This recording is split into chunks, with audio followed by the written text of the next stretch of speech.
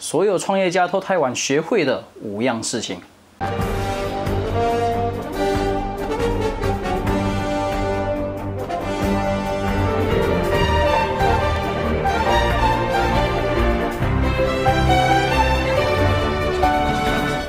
Chris。那么很多人呢都想要创业，但是他们都怕创业失败。但是马云曾经说过一句话，让我觉得非常非常赞同。他说：“成功的理由千百种，但是失败的理由只有那几种。”所以今天呢，我想要跟你分享所有的创业家都太晚学会的。五件事情，让你不管是你想要创业，或者是你正在创业，你都可以去先学会这五件事情，这样子你接下来的创业的一些旅程或者是路途会比较顺遂。那么第一个就是你要先懂得怎么去行销。为什么行销很重要？是因为其实我在之前的影片就已经说过了，很多创业家在创业的时候，他们都想要他们的产品是最完美的。他们是最完善的，所以他们就一下子砸了很多钱在开发这个产品上面。那今天我要跟你分享一个事实，那就是这个产品虽然很好，但是卖不卖得出去是另外一件事情。很多时候，这些想要创业的人都觉得说，只要我的产品是好的，那就肯定是卖得出去的。但是只要你是现在正在创业的，或者是以前曾经创过业，你就会知道，其实不是这么回事。你的产品再好，你要懂得卖。它才能够卖得出去，也就是行销的这一部分。所以第一个，你要先懂得怎么去行销，然后呢，你才去想这个产品要怎么去完美，要怎么去完善。那么第二件事情就是懂得怎么去销售。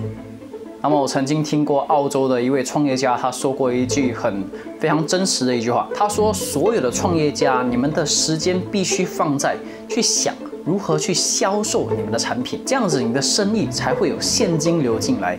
有了现金流之后，你才可以去想说，这个现金流我要怎么去分配我的现金？可能是分配给员工，可能是分配给其他的，比如说工具或者是一些资源等等之类的。所以，身为创业家，你的最主要的一个工作就是你要懂得如何去销售，而且你要想办法怎么去销售你的产品。如果你不懂得怎么去销售，然后你想要开始创业的话，那这个创业注定。是失败的。我在这边跟你分享一个故事啊，我曾经去过一家新加坡的肉骨茶店啊，新加坡的肉骨茶是非常非常驰名的。但是这家肉骨茶的这个特别呢，这个特色就是它是卖干的肉骨茶。那么我们一般人的印象都会觉得说肉骨茶是汤啊，汤底嘛，对不对？但是它卖的是干的肉骨茶，所以那时候我就觉得很新奇嘛，然后就去试试看，去吃了，然后吃了也觉得很好吃。但是后来啊。那家店的老板呢，他就跟我讲说，如果你们觉得好吃的话，那就麻烦你们帮我们多多介绍一些客人来，这样子我们才有更多生意，要不然我们的店就快倒了。所以我就很好奇，这么好吃的东西，为什么会没有人来呢？一般来说，好吃的东西都是排队的嘛，对不对？但是他们的生意为什么不好的原因，不是因为他们的东西不好吃，是因为他们不懂得怎么去销售，怎么去行销，怎么去打广告，怎么让他们的生意，或者是他们让他们的店，让更多人知道他们的。存在，所以跟他聊天聊了很久之后，我才发现他其实是个厨师，他并没有做生意的背景，他完全不懂得怎么去做生意，完全不懂得去怎么去经营一家店。所以请记住，如果你想要创业的话，你就必须懂得怎么去行销，还有怎么去销售，这两样东西非常非常重要。第三，不懂得怎么去跨领域。我所谓的跨领域是指什么东西呢？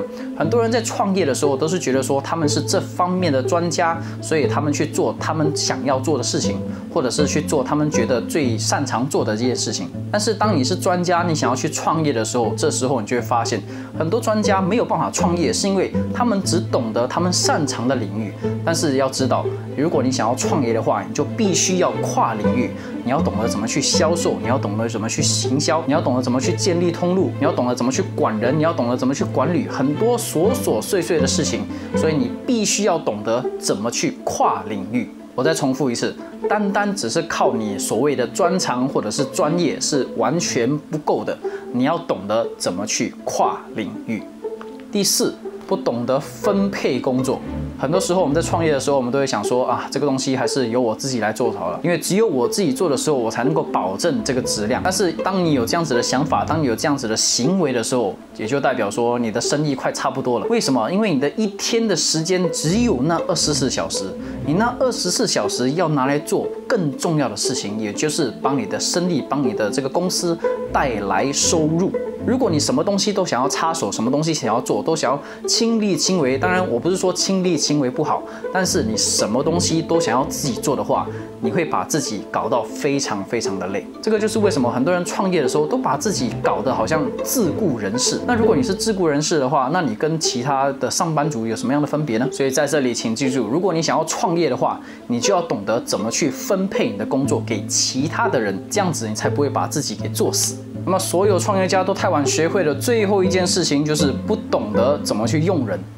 人对所有的创业家、对所有的生意、对所有的公司都是最大的一个资源。但是当这个资源你运用的不得当，或者是不懂得怎么去用它的时候，你就会去浪费这些资源。更惨的是，你招进来的这些人可能还会扯你的后腿，你懂我的意思吗？那这样子的资源是等于是浪费掉的。所以请记住，如果你创业想要成功的话，那你就要懂得怎么去用人，把每个人放在对的位置，让他们去发挥他们的强项，他们最擅长的一些事情，你才能够更好的去运用这些人或。或者是去运用这些资源。以上呢就是所有创业家都太晚学会的五件事情。那么今天的影片就先到这边。如果你喜欢这个影片的话，请记得订阅、按赞、分享。有什么问题的话，就在下面留言，或者是以后如果想要我做什么样的影片的话，也可以在下面留言告诉我。那我们在下个影片见。